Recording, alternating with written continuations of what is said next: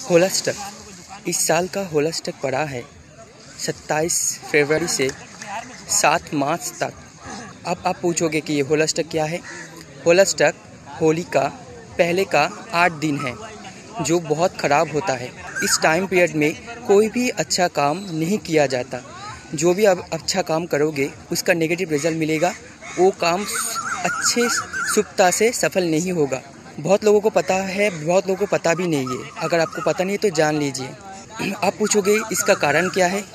इसका कारण है, विष्णु भक्त प्रहलाद को अपने ही पिता हिरण्यकशिपु और उसके बहन ने इस आठ दिन प्रहलाद को मारने का बहुत कोशिश किया था, चक्रांत कर रहा था कि उसको कैसे मारा जाए। होली के दिन हिरण्यकशिपु के बहन ने प्रहलाद को लेके चिता में जाके प्रवेश किया। लेकिन प्रहलाद का तो वरदान मिला था कि उसका आग कोई नुकसान नहीं पहुँचा पाएगा। इसीलिए प्रहलाद का कुछ नहीं हुआ और वो राक्षसनी वहाँ पर जल गया। इसीलिए होली का पहले आठ दिन बहुत अशुभ माना जाता है। इसलिए कोई भी शुभ काम करने से निश्चित कर दिया है शास्त्र में।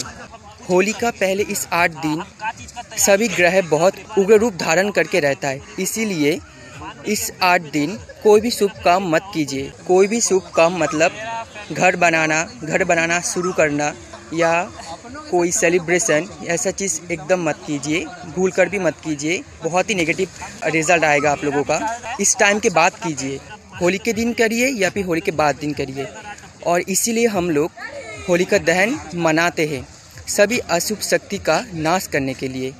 तो उम्मीद है आपको ये इन्फॉर्मेशन अच्छा लगा। तो एक लाइक और सब्सक्राइब कर दीजिए और फॉलो करना मत भूलिए। तो मिलते ही ऐसे ही नेक्स्ट वीडियो में।